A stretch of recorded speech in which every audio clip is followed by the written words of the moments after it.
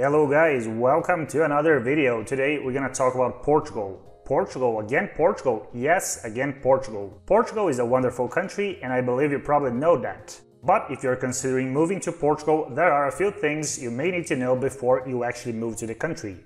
Some of them are very positive surprises, so if you like Portugal, you will like the country even more. On the other hand, like in every country, there are some aspects of living in Portugal that may not please everyone. In this video, we're going to cover 7 facts to consider before choosing Portugal as your new home, including both the positive and negative sides of living in this beautiful small European nation. And here are the topics we're going to cover in this video. The flexible immigration laws in Portugal, the rather high taxes in Portugal, the fact that the Portuguese economy is heavily reliant on tourism, the Portuguese language, the state of the Portuguese property market, salaries and cost of living in Portugal, and finally the climate of Portugal. And before we start the usual talk, you already know it, if you want to travel, move or invest abroad, hit the like button, check our other videos. The videos are there waiting for you on the channel. After watching a few of them, you can book a consultation call with me, the link is in the description. Let's plan your immigration strategy together. And most importantly, subscribe!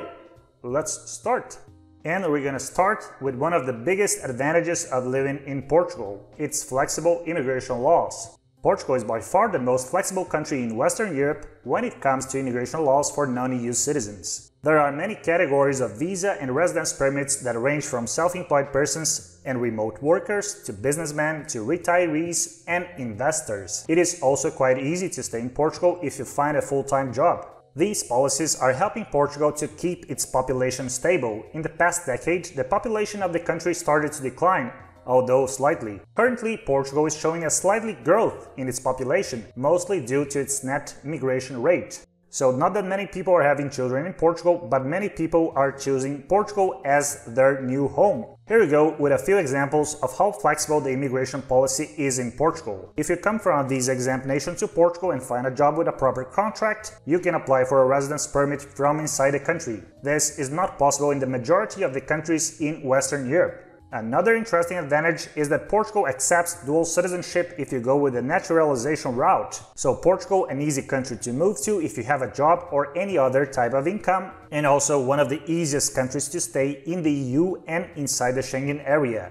Finally, it is also a relatively easy country to become a citizen if that's your ultimate goal. Now we're gonna talk about taxes in Portugal, which are not that much as an advantage as the immigration laws. Portugal is a country with very high tax rates. A good number of expats moving to Portugal can benefit from the Portugal Non-Habitual Residence Program, which offers a number of tax advantages for a period of 10 years. This has helped Portugal to market itself as a low-tax option for expats, but this is highly debatable. So do not let yourself be allured by Portugal thinking that it is a low-tax country. Most types of income are taxed heavily in Portugal. Portugal uses a progressive tax system at a personal level, which currently ranges from 14.5% to 48%. Other types of income such as capital gains, rental income and dividends are also taxed at quite high rates. So, if you're coming to Portugal and staying more than 6 months a year, you'll become a tax resident in the country. In this case,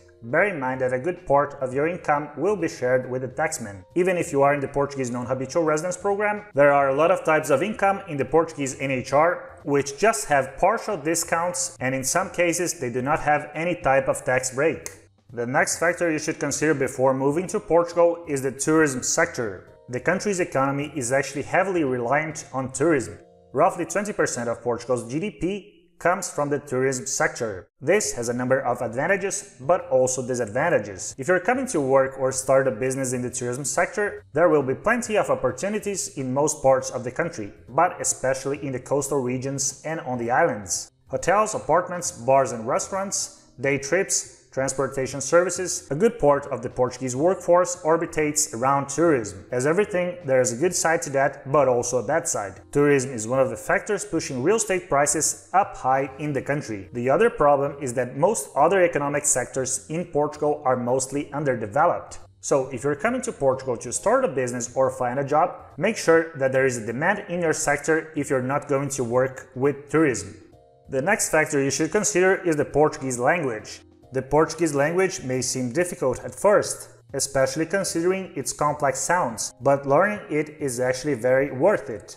Despite its relatively small size and population, Portugal has approximately just 10 million inhabitants. Portuguese is actually one of the most spoken languages in the world by number of native speakers. There are approximately 220 million native speakers of Portuguese in the world, Brazil is the country with the highest number of Portuguese speakers, but apart from Portugal and Brazil, you can find native speakers of Portuguese in countries that were Portuguese colonies in Africa and even in Asia. Apart from that, learning Portuguese is also a good investment, as it will open you the gates to learning other Romance languages as well. Spanish is extremely similar to Portuguese, and if you learn any of these two, you will understand much of the other, especially in its written form. So if you're coming to live in Portugal, make sure you start learning Portuguese right now.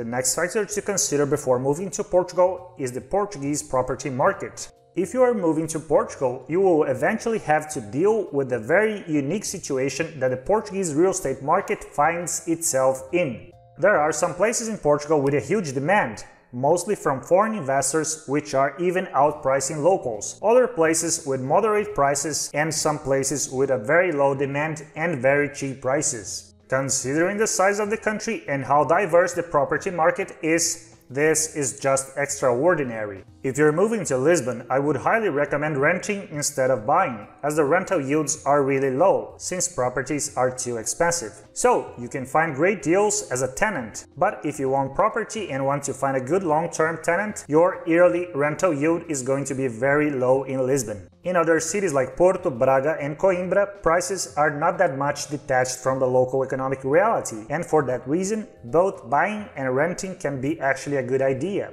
If you're buying property in Portugal, make sure you do not believe everything your real estate agent says. Do your own due diligence and talk to as many people as possible about licenses, paperwork, financing, fees, and everything related to buying property before you commit. The next factor are salaries and the cost of living in Portugal. Salaries in Portugal are lower than the average for Western European standards and much lower than salaries in most large US cities. So if you're coming to Portugal to look for a job, bear that in mind. However, the cost of living in Portugal is the lowest in Western Europe. So even if your salary is not particularly high, you can still have a high quality of life, especially if you don't have to pay rent. If you don't have to rent a place, and especially if you don't need to rent a place in Lisbon, the average Portuguese salary will allow you to have a pretty decent quality of life considering the local costs. If your income is remote and you work for a US, Canada, Australia or UK company, you will be able to have a very high quality of life even if your salary is not impressive by US standards. So overall, Portugal is not a place with great salaries, but a place with an excellent cost of living. If you live in Lisbon and you have to rent a place and you have an average Portuguese salary, that's another story that's probably not a very good investment as rents in Lisbon are too high comparing to the local salaries. The last factor in today's video is the weather, Portugal's climate. Portugal has one of the best climates in Europe and possibly in the world. The country has four very well-defined seasons, but days of extreme weather are less common in Portugal than in most other countries in Europe. The climate of Portugal is different and better than in most other European countries due to its geographical location. The influence of the Atlantic Ocean on the weather helps to minimize high temperature amplitudes throughout the year. That, combined with a lower latitude for European standards, allows Portugal to have relatively mild summers and mild winters. There are, of course, days of extreme heat in Portugal, but if you compare to more continental areas of its neighbor Spain, for example, Portugal has much less extreme days. The same applies for extreme cold days. If you compare Lisbon and Madrid in terms of climate, Madrid has just a slightly higher latitude, but in winter Madrid is on average 5 degrees Celsius colder than Lisbon. Madrid is also at a much higher altitude, which also contributes to that. However, if you're moving to the continental part of Portugal close to the Spanish border, this is the area of the country with the most extreme days of cold and of hot weather. So if you can possibly be close to the ocean, this is probably a good idea in terms of climate. That's it for today's video. Are you considering moving to Portugal? Write a comment down below. If you're not considering moving to Portugal, write also a comment down below, just sharing with us to which country you would prefer to move to. And to end the video, the usual gibberish. If you want to travel, move or invest abroad, hit the like button, check our other videos, book a consultation call with me, the link is in the description. And most importantly, subscribe! See you next time.